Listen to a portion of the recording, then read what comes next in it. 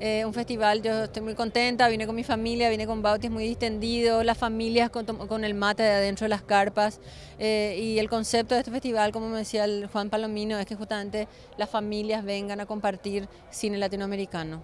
Es hermoso. Y también recién hablábamos con Daniela Valenzuela, que es uno también de los, digamos, creadores del festival. Y recordábamos que hace dos años, Tana, que vos no pudiste venir, pero vino Lali.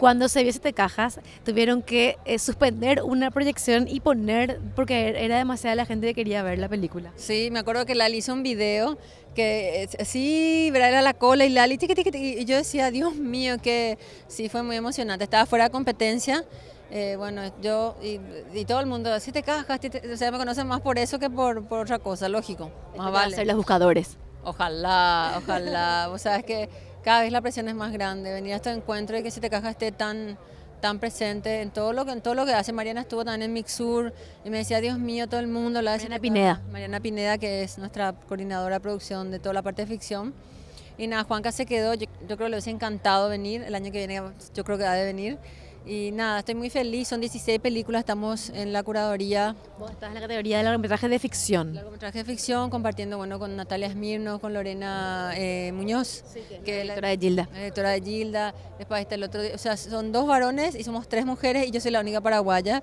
y son muy capos ellos, entonces compartiendo con ellos este tema de, de elegir las películas, estoy todo el día viendo las películas en cualquier formato y ya me falta poquito. En la pileta tu, tu, tu hijo con, con, José y vos estás ahí viendo en la computadora, es así, ¿verdad? Así mismo, así mismo, pero es también un poco el concepto esto, ¿verdad? De este festival y, y es hermoso todo.